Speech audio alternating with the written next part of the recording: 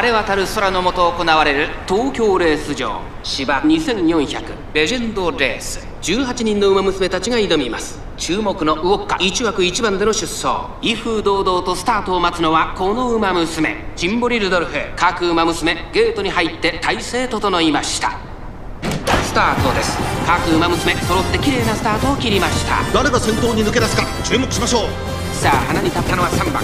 このままリードすることができるか。2番手の位置で先頭を伺うのはシンボリ・ルドルフ。外を回ります。5番。そしてその外。15番。10番。続いている。1コーナーから。そして2コーナーへ向かって行きます。3番。会長に飛ばして行きます。先頭は3番単身で飛ばして行きます。先頭から大きく離されて2番手はシンボリルドルフ。1馬身離れて14番。そしてその内から行ったのは5番。10番。続いている。その外並んで15番。それを見るように2番。5馬身離れて動くか。その後34馬身開いて7番。外から外から13番。それを見るように12番。6番。内から行く。それを見るように8番。少し後ろから18番。11番。並びかけてきた。内から9番。後方2番手に17番。向こう上面に入って先頭からしんがりまでおよそ13馬身。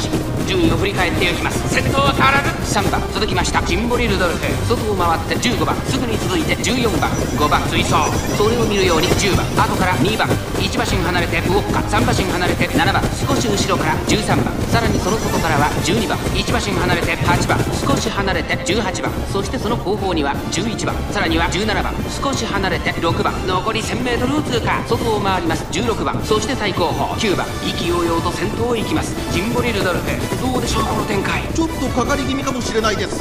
息を入れるタイミングがあればいいですが。大欅を越え4コーナーへ。この直線で勝負が決まるぞ。まだ1馬身以上の差があるぞ。ここから捉えることができるのか。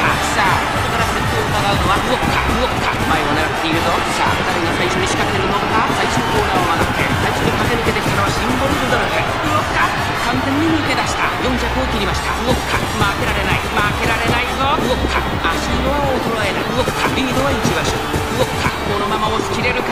を通過これは強い。3番手争いは15番14番先頭は伊丹動くか動くか。突き放せ。1着は動くか。最後意地を見せて栄冠を手にしました。気力を尽くした消耗戦。勝ったのは動くか。2着にはシンボリルドルフ。3着は14番